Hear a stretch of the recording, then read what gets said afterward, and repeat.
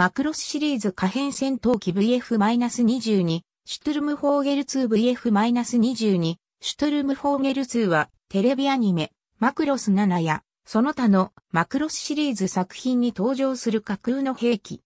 マクロスシリーズの主要な兵器である、ファイター、ガオーク、バトロイドへの三段変形機構を持つ、可変戦闘機シリーズの一つ。愛称のシュトゥルムホーゲルは、水なぎ鳥かの海鳥のドイツ5名。第二次世界大戦中に、ドイツ空軍が使用したジェット戦闘機、メッサーシミットメ 262A-2A の愛称でもある。なお、発音の関係上、ストルムボーゲル2、シュトルムボーゲル2とも表記される。デザインモチーフとなった UF-23-1994 年から1995年にかけて発売された OVA マクロスプラスにおいてメインキャラクターのガルド・ゴアボーマンが開発主任兼テストパイロットを務める試作可変戦闘機 UF-21 として初登場。主人公のイサム・ダイソンがテストパイロットを務める UF-19 との競合施策で対決を繰り広げるもう一つの主役機に位置づけられる。マクロスプラスと並行して制作され、同作の約5年後を舞台としたテレビアニメマクロス7では競合施策に勝利した UF-19 の正式採用機 VF-19 エクスカリバーを主人公機や精鋭部隊用の機体とする一方で物語の終盤最新鋭の特殊作戦機として正式採用された VF-22 が登場し、かつて天才パイロットと歌われたマクシミリアン・ジーナス、ミリア・ファリーナ・ジーナス夫妻の登場機となる。7の約1年後を描いた OVA マクロスダイナマイト7ではメインキャラクターのガムリン、キザキが登場する。プラス7以降に発売されたマクロスデジタルミッション VFX やマクロス VFX2 といったゲーム作品においても最高クラスの性能を持った機体としてプレイヤーが操作できる。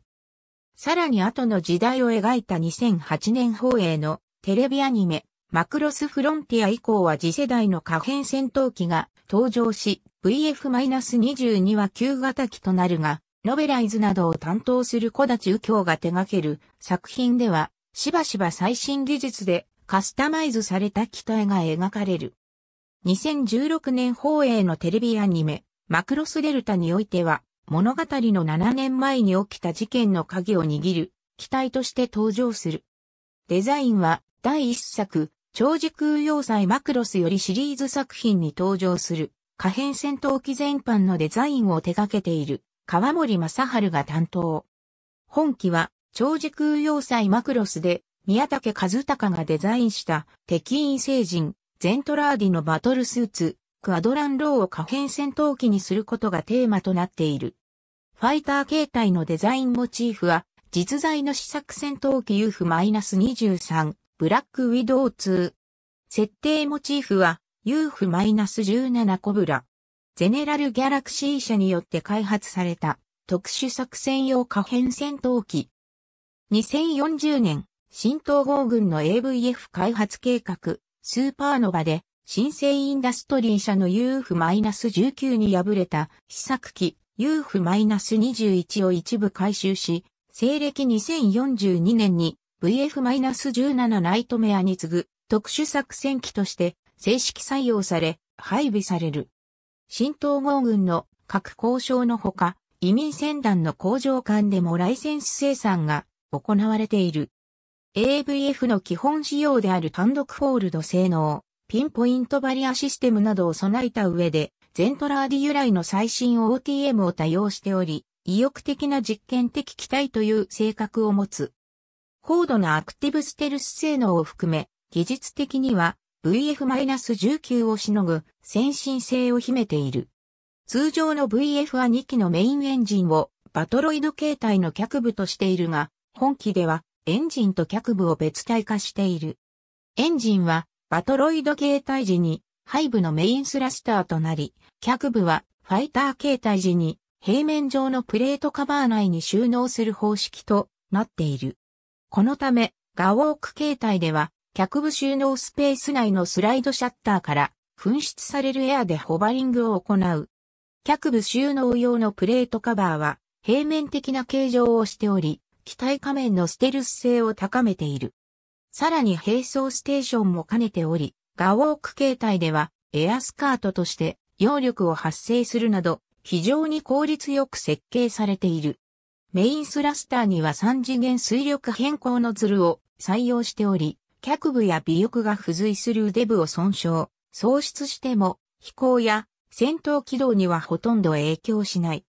この構造を利用し、腕部と脚部を切り離して軽量化した超高機動形態、ハイマニューバモードとなることが可能だが、その間パイロットは激烈な G にさらされるため、発動には時間制限が設定されている。外装には OTM 理論を応用し開発された最新の複合素材を使用しており、柔軟に伸縮して断面積や形状を変化させることができる。主翼は外翼部から二つ折りになる形式の可変翼であるのに加え、変形により高速飛行時は薄く小さく、低速飛行時は厚く大きくなり、最適な陽光比を獲得できる。さらに左右の翼面形状を非対称に変え、大胆な挙動を取ることも可能。また、従来の可変戦闘機の変形は各ユニットの移動、収納によりそれぞれの形態を構成していたが、本機ではそれらに加え、個々の部位そのものが各形態に合わせて、あたかも有機的に変態するという画期的なコンセプトが導入されている。脚部、胸部、腕部はファイター時に収縮し、収納スペースや機体断面積を削減するというメリットがある。ただし、これらの構造は製作工程上の問題と製造費用の高騰化などから本機の大量生産を困難にする一因ともなっている。ゼントラーディ軍のバトルスーツ、クアドランローのキメリコラ特殊、イナーシャイコールベクトルコントロールシステムの改良形を採用していることから、バトロイド形態はバトルスーツを思わせるシルエットとなり、重力制御を用いた高機動戦闘を行える。標準武装は頭部のレーザー対空砲、両腕のレーザー砲、ケースレス式、ガンポット2丁、機体内蔵のマイクロミサイルランチャーなど、大型の機体で搭載量に優れ、目標へのピンポイント攻撃で威力を発揮する。オプションのファストパックは、ステルス性能を損ねないよう、仮面プレートカバーに密着するコンフォーマル式のものが用意されている。OVA、マクロスプラスに登場する VF-22 の試作型。2040年、惑星エデンのニューエドワーズ基地において VF-19 エクスカリバーの試作機である。新生インダストリー社製 YF-19 と統合軍の採用コンペティションを競い合う。コールサインはオメガ1。性能試験に使用されるのは2号機で、バックアップ用の1号機と3号機も存在する。開発主任兼テストパイロットは、ゼネラル社に所属するゼントラーディ系2世のガルド・ボアボーマン。優秀な頭脳と飛行技術を持つガルドは、UF-21 のシステムの一部とも言える存在である。UF-21 は革新的な技術として操縦、火器管制系のアビオニクスにブディシステムを搭載している。これはパイロットと機体を神経接続し、一機一体に近づけるシステムである。操縦者はコクピット内で精神統一を行い、自身の肉体感覚に機体イメージを一体化し、飛行、索敵、攻撃などの操作を実行する。機体各所の光学センサーで捉えた映像は、パイロットの脳内へ直接投影され、パイロットは目をつぶっていても、機体全周囲の視界を浮かべることができ、接近するミサイルの軌道予想やレーダー波など、肉眼では視認できないものすら映像化される。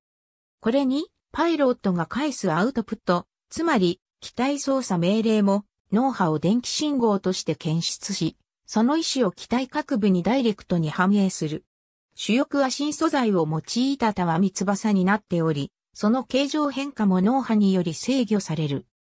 従来の空中戦では、パイロットは首を振って、標的を視認し、手足でレバーやペダル類を駆使するという忙しい動作が必要であったが、ブディシステムでは脳だけを働かせ、木装状態でイメージするだけで機体に同化し思うがまま自在に操ることができる。これは兵器としてだけでなく、有志ライトリのように空を飛びたいと願っていた人類にとって究極の飛行システムと言えた。またバトロイド形態においては、クアドラン系バトルスーツ同様、獅子を文字通り自分の手足のように操ることが可能である。しかし、弱点として、パイロットに高度の精神集中力が要求される点が挙げられる。精神フィードバックの制御の失敗がそのまま、機体制御の失敗となる危険性をはらんでおり、パイロットの集中が乱れた時予測不能な挙動や操縦不能に陥ることが懸念された。実際、スーパーノバ計画のテスト中に原因不明の事故を起こし、あわや墜落という事態に遭う。複雑で高価なシステムであることと、相まって、量産型の VF-22 では、機能を大幅に簡略した上で、手動操縦の補助機器としての使用に留められている。イサム・ダイソンが UF-19 を買って地球へ無断出撃した際には、軍に追撃出動を要請される。その後、ガルドのカル2号機は地球上空にて無人戦闘機ゴースト X-9 と交戦し、圧倒的な機動力に翻弄される。悲劇追寸前にまで追い詰められたガルドは、最後の切り札として、飛行に不要な獅子を排除し、エンジンのリミッターを解除する。誠実なドッグファイトの結果、特攻で X-9 の撃墜には成功するものの機体は大破し、ガルドも特攻直前に過酷な G ホースで体が損壊する。2050年代にはマクロスギャラクシー戦団においてパイロット自身の体をサイボーグ化することで機体との直接接続や対 G 性能向上を図った機体 VF-27 ルシファーが開発される。本機は地球上でゴースト X-9 と交戦する際、ファイター時の歯科銃となる手足接合部の関節から切り捨てた超高機動専用のハイマニューバモードで一騎打ちを挑む。エンジンにかけられたこのリミッターは機体の構造限界というよりパイロットの肉体限界に合わせて設定されており、解除するには文字通り命がけの覚悟が必要となる。有人機としての運用には大きな問題があるモードであるが、上記の理由から使用時間制限が付与された上で、あくまで緊急用として VF-22 項も継承されている。スーパーノバ計画における UF-21 と UF-19 のパフォーマンス評価は非常に拮抗し、判定は優劣つけがたいものであったが、最終的に明暗を分けたのは生産コストの差だったと言われる。最新技術のブディシステムや特殊変形翼などは、量産ラインやメンテナンス体制の整備に莫大な予算を要することが予想され、この点で従来型のテクノロジーをまとめ上げた UF-19 の方が賢明な選択肢となった模様である。UF-21 は AVF 計画に基づき、最高レベルの技術を集約した機体だったが、その理想主義は現実的な課題に阻まれることになる。しかし、その高性能は少数精鋭の特殊作戦機にふさわしく、すでにテロリストとの戦闘でバトロイド同士の格闘を経験していた統合軍にとってはゼントラーディバトルスーツの流れを組む本機のバトロイド時の卓越した格闘性能は魅力的であったという。そのため VF-19 に遅れること1年、VF-22 シュトゥルムフォーゲル2として正式採用の運びとなる。このような結果に陥るケースは VF-17 に続き2度目のことで、こういった技術変調路線は、ある意味で、ゼネラル社の問題とすべき傾向として指摘される点の一つであった。その後、VF-17 をベースに見直しが図られ、低コスト化と整備性の向上を実現した VF-171 ナイトメアプラスは、西暦2050年代末において最も広く普及した可変戦闘機の座を獲得する。UF-21 からの最大の変更点は、操縦、下機関成系のアビオニクス、ブディシステムがほとんど廃された点である。操縦系は脳波サポート付きながら従来の手動式となり、コクピットキャノピーも有視界優先の形状に変更された。これにより、コクピット内装の一部が簡略化されると同時に軽量化されたため、機体の水平飛行速度や機動性能が若干向上している。また、UF-21 との外観的な相違として、バトロイド時の頭部カメラアイが単眼からゴーグル型になり、並走ステーションが改良され、形状が変更されている。モデルグラフィックス2003年5月号の特集記事では、同種オリジナルの派生型が創作された。ムックボン、This is Animation Special Macros Plus に掲載された各 VF カラーバリエーション設定のスタイルにのっとり、制作スタッフも一部重複しているが、以下は厳密には版権元に公式設定として承認されていない。